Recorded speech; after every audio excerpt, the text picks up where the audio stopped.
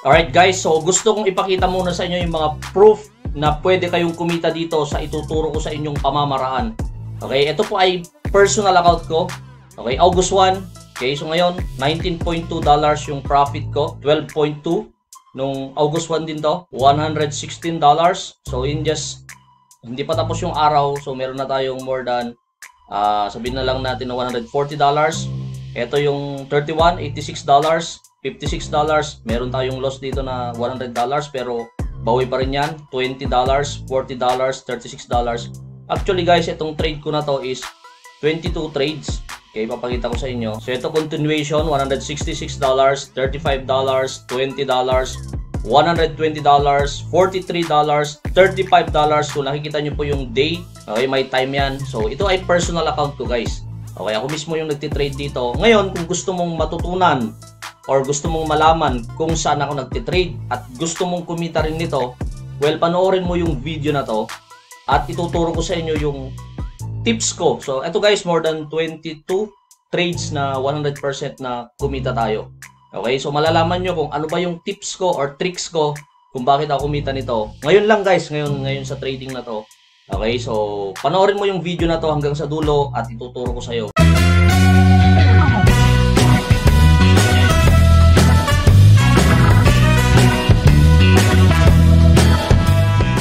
Hi guys! Welcome back dito sa aking YouTube channel. Kung bago ka lang dito sa aking YouTube channel, my name is Mark from Pinoy Influencer. Ang channel ko po ay nagtuturo kung paano kayo kumita ng pera sa online, tutorials, motivation, trading, and investment. Kung gusto mo yung magandang klase ng content, consider subscribing by hitting the subscribe button. I-on mo na rin yung notification bell. I will notify and update you kapag may bagong upload na video. Ma-appreciate ko rin, hit nyo na po yung like, i-share nyo to sa mga kilala nyo na gusto rin kumita ng totoong pera sa online. So, wag na natin patagalin guys. Let's go! Alright guys, before tayo mag-start, gusto ko munang inform sa inyo or sabihin sa inyo na meron pong $20,000 giveaway po yung Prime XBT. Yung details po nitong uh, vlog na to is nandyan po sa yung link dyan sa description. So, gusto nyo bang sumali? Or gusto nyo magkaroon ng chance para kumita kayo ng 20,000 or magkaroon kayo ng 20,000 dollar giveaway ng Prime XBT. Okay, yung det detalyado niyan is nandyan sa link. So, ito yun guys. So, meron kayong gagawin. 3 easy tasks yung gagawin nyo para makapasok po kayo. Okay, so nandito na po yung instruction guys. Okay, Ayan. So, how to participate in the Prime XBT 20,000 BTC. Mandatory required steps. Okay, nandito yun. Must, must be registered here. So, nandyan po yung link. Ito po yung makikita nyo mismo kapag ginamit nyo po yung, uh, yung link dyan. So, wala po tayong referral link dyan. Yung link na to is para may direct lang po kayo dito sa blog na to. Okay, yung articles na to ng Prime XBT. Para gusto ko rin sa inyo guys, bilang viewers ko, may chance na manalo. Okay, sabihin na lang natin kumita ka ng 1,000 or nanalo ka ng 1,000, edi maganda yun dyan. So, users must follow at least one of the official Twitter account. So, ipa-follow mo lang siya. Number 3, users must become a member of one of the Prime XBT Telega Telegram groups. So, meron yan. So, mag-join lang kayo. Yan lang yung gagawin nyo, guys. Okay? Anong mahirap doon? Mag-register kayo or mag-sign up kayo sa Prime XBT. Number 2, one official Twitter account ay i-follow nyo. Number 3, at ang gagawin nyo lang ay mag-join lang kayo sa kanilang Telegram groups. Yun lang guys. May chance kayo na magkaroon ng part or portion dun sa 20 $20,000 giveaway ng Prime XBT. At saka kung gusto niyo pa yung other information, pwede niyo rin pong panoorin yan. So ito po yung campaign from July 19, so hanggang August 19 po yung campaign na yan. So magsisimula siya July 19, nag-start na pala siya. So hanggang August 19 to guys, pwede pa kayong manalo or pwede pa kayong may chance pa kayong manalo. Basic lang gagawin nyo. Inulit ko, mag-register lang kayo, Number 2, follow nyo lang po yung kanilang Twitter. At yung isa, mag-join kayo sa kanilang Prime XBT na Telegram group. So, yun lang yun guys. So guys, first step na gagawin nyo para makapag-start po tayo mag-trade dun saan, kung saan doon ako nagtitrade ay mag-click nyo po yung link dyan sa description. Click nyo po yung link dyan para makapag-create kayo ng account. So makaka-access po kayo dito po. Sa pangalan po pala sa website or application na to, meron po yung application to guys. Okay? So, pwede po sa cellphone. Ibig sabihin, pwede po sa cellphone kapag meron po uh, application. Ang maganda nito guys, madali lang po mag-create ng account. Click nyo lang po itong get started. After nyo maklik yan, Okay, ang, ang kukunin lang sa iyo, pwede po kayo mag-register through email or pwede rin pong mobile registration. Okay, at magkakaroon kayo ng bonus na 258 USDT or Tether bilang welcome bonus nyo. So may requirements yan. Hindi yan instant. Okay? Baka pag sign up nyo, gusto nyo kaagad, asan yung 258 US dollar? Hindi ganon. So ilagay nyo lang po yung email nyo. Click nyo po itong send and then merong isesend dun sa email nyo na verification code. Ilagay nyo po yung password nyo. Okay, then click nyo lang po yung register. Kung mobile naman, click nyo itong mobile. Alright, so ganun din. Ilagay nyo lang po yung 9 na agad Huwag nyo na ilagay yung 63, 93, something like that. Then, click nyo po yung send. Magsisend to sa cellphone nyo. Ilagay nyo po yung verification code, then account password. Then, makakapag-create kayo ng account. Alright? So, ganun lang kadali mag-create ng account dito po sa Bityard. So, ngayon, so ngayon mag-login lang po kayo. Okay? So, i-verify yung account nyo. Once naka-login kayo, ito na po mismo yung makikita nyo. Ito ay personal account ko. Okay? So, lahat ng mga trading platform, meron pala akong account. Okay, lahat din nagte-trade ako doon. Pero ito guys, okay, isa dito na nagte-trade din ako. Okay, so ito yung home. Yan, para ma-secure muna yung account nyo, account security muna. Ilagay nyo muna yung, uh, kumbaga, maglagay kayo ng verification nyo, i-verify nyo muna yung email nyo, and then ayusin nyo yung security or yung password nyo, ayusin nyo dyan. So, dito, hindi ko ipapakita kasi secure dyan, dapat uh, secure dyan. So, kayo na pong bahala dyan. Then, Okay, nandito yung manage copy trades, trader settings, affiliate center, and then ito yung logout. So ngayon guys, ang ginawa ko dito, ang pangalan kasi dito ay tinatawag nilang contract trading. Pero pwede rin kayo mag-spot trading. Pero yung ginawa ko doon, kaya medyo malaki yung kita natin, uh, almost from $200 to $400 per day natin ngayon.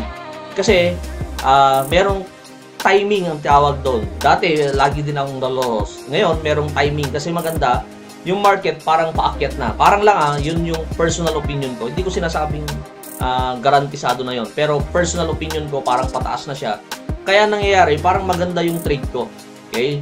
Meron kasi akong ginagamit na dalawang uh, makakatulong din sa inyo. So, papakita ko sa inyo.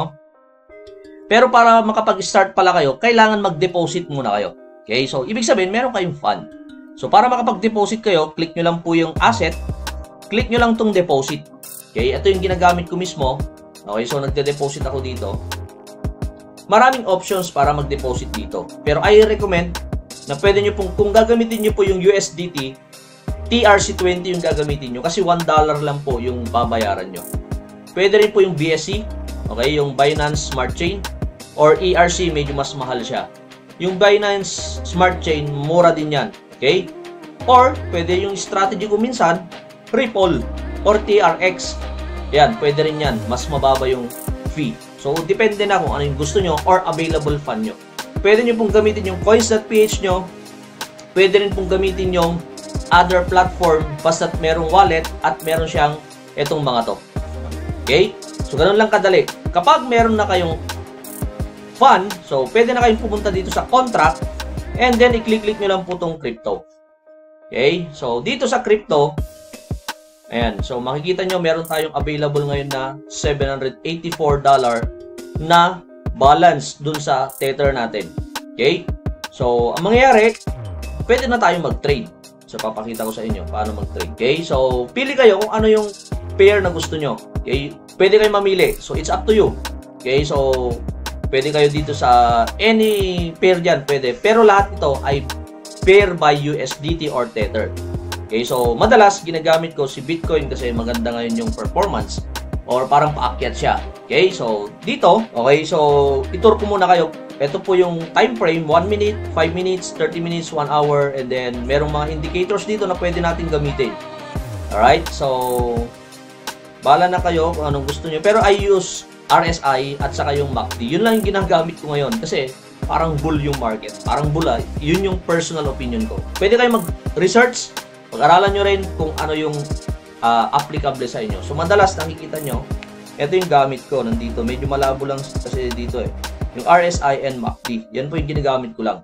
Okay, kapag nakita ko nag-cross na yung MACD ko, okay, at mas mataas na yung kulay blue, okay, so dyan na ako nagte-trade.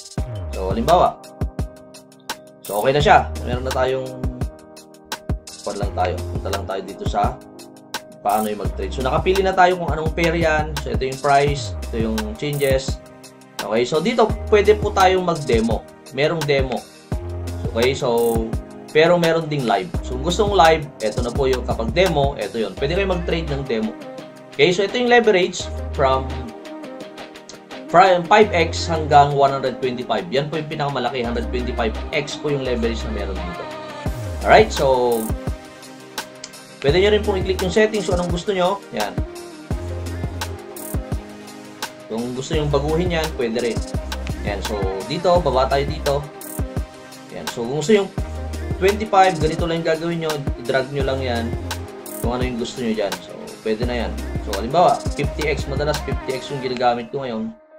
Okay, wala akong dahilan dyan, pero yan lang yung ginagamit ko. So, ngayon, kung gusto yung market, ibig sabihin, automatic na magkakaroon ng uh, order. So, meron ka agad. O gusto mong limit, ikaw yung maglalagay ng price, hintayin mo muna na mapunta yung price doon bago siya maging mandun sa open order. Okay, so halimbawa, gagamitin natin yung market, papakita ko sa inyo mismo magte-trade tayo. So, pwedeng sabihin na lang natin na pataas yung price, yung dito ilalagay natin yung margin, 100 ang ginagamit ko. So, ginagamit ko dyan guys, kung nakikita nyo, $100. So, yun lang yung ginamit ko doon.